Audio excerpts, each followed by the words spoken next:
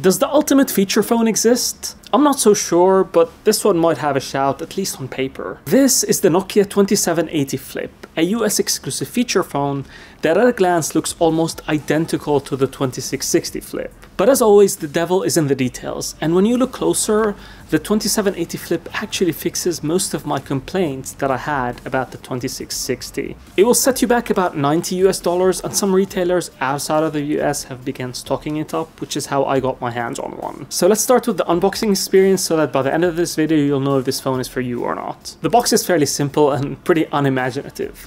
Inside you've got the handset itself which comes in either blue or red, product and safety booklets and the wall charger which actually uses USB-C. Now starting with the hardware, the 2780 comes with a 1.77 inch display on the outside, which showcases the time and very basic notifications. The form factor and overall design is identical to the 2660, but with some minor yet significant changes. And as the name implies, it is a flip phone and when you flip it open, you're faced with a 2.7 inch display. The buttons are all very large and have excellent tactile feedback, making this a very good option for people who have accessibility needs. The D-pad is also top notch and I honestly don't have any complaints about this keypad. The display though does have very poor viewing angles and don't expect the screen to be super sharp either, but it does the job. On the right you've got the volume rocker keys as well as an emergency button, which you can reassign to an emergency contact, well, in case of emergencies. The thing I'm probably most happy about though is that this comes with a USB-C port for charging,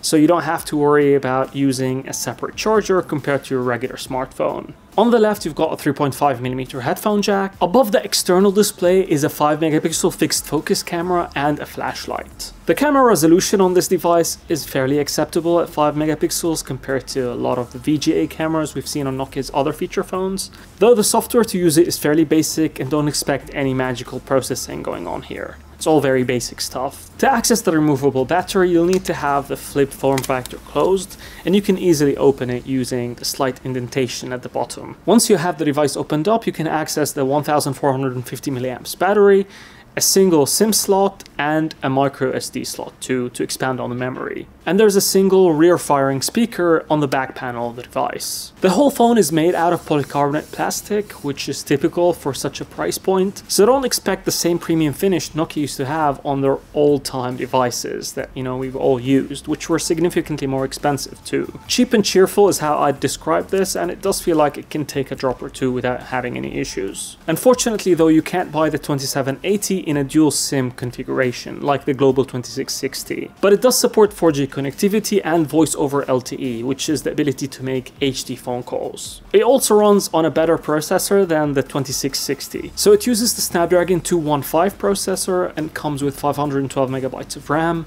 and 4 gigabytes of internal storage, which as I mentioned earlier is expandable using an SD card slot. Out of the box, the system takes out about a gigabyte of that, so you're left with about 3 gigs, half of that can be used for apps and the other half can be used for media. Though keep in mind that KaiOS, which is the operating system this thing is running on, does require more processing power than the S30 Plus platform that most of Nokia's other recent feature phones are running on. I've tested the call quality pretty briefly and it does seem to perform very well, especially considering the price. And the loudspeaker is loud enough though doesn't offer much in terms of clarity. Other notable features is that the phone comes with Bluetooth 4.2, and it also supports Wi-Fi and the ability to use this device as a Wi-Fi hotspot. But unlike the 2660, you won't be able to use the radio functionality without connecting headphones first. Now the 2780 is the first Nokia feature phone to be running on KaiOS 3.1 out of the box. It's still a mystery to me how good this operating system will be to use over a prolonged period of time,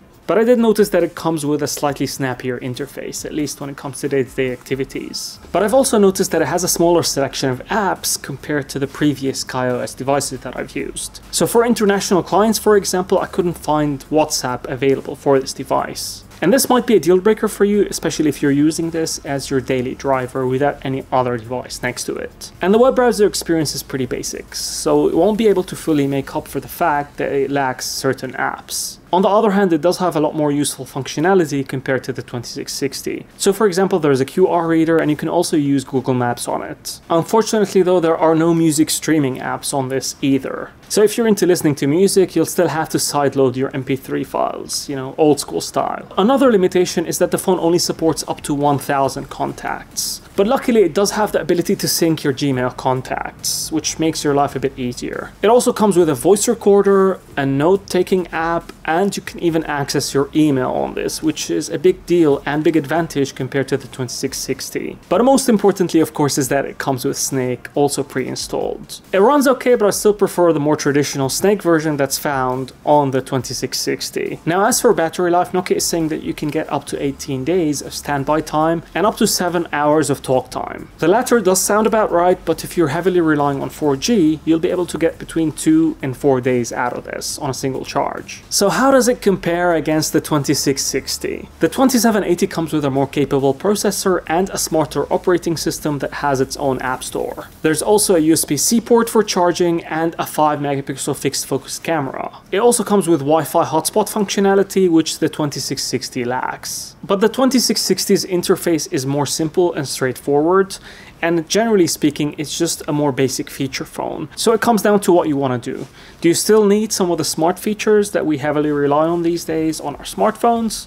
In that case, the 2780 makes perfect sense. But if you want something more simple and you just want like a burner phone equivalent or to completely detox out of the tech world, then the 2660 makes sense for you. Now I'd love to hear from you. What do you guys think of the 2780 and do you prefer it in concept to the 2660?